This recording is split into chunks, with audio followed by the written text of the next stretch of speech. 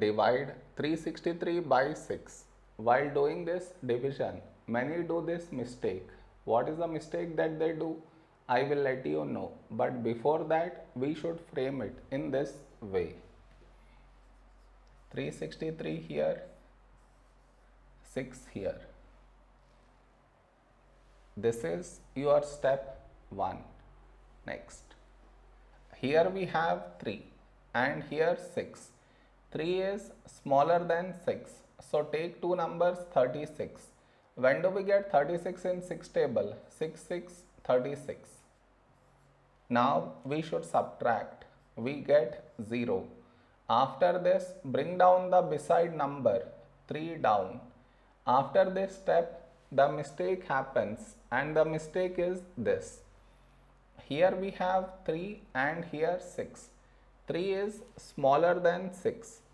So what many do is they directly put dot take 0 which is wrong. Why is it wrong? Because just now you brought this number down and in the same step you want to put dot take 0 which is wrong.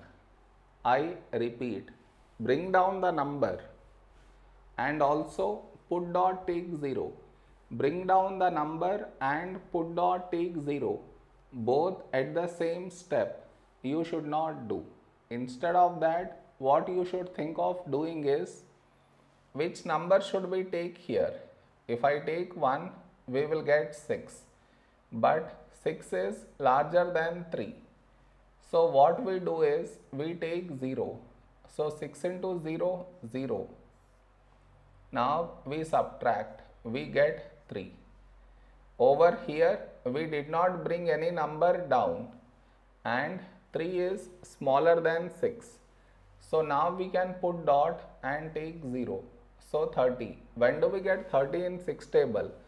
6 5 30 now we subtract we get 0 did you understand where does the mistake happens? You should not do that mistake